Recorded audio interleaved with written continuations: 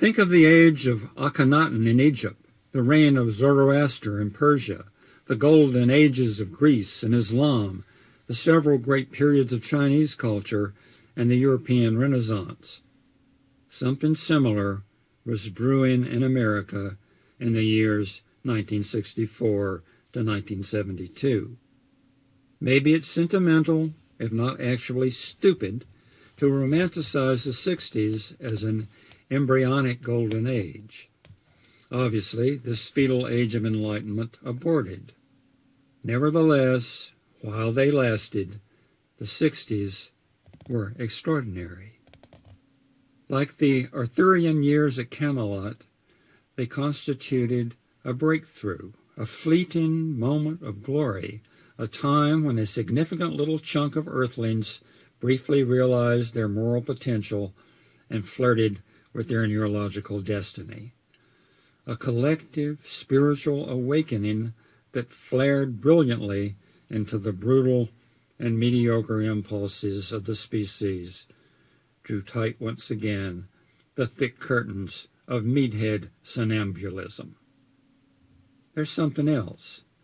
I think it need be established firmly, flatly, and finally that what we call the 60s would never have happened had it not been for the introduction of psychedelic drugs into the prevailing American paradigm.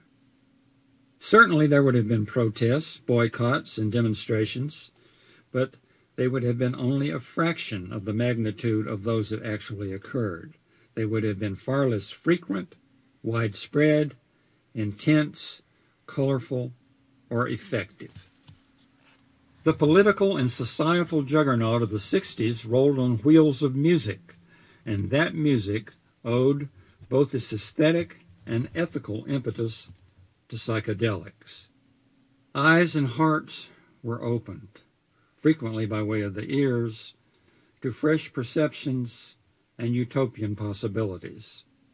It was a dizzy period of transcendence and awareness, transcendence of compromised and obsolete value systems, awareness of the enormity and richness of a previously unsuspected inner reality.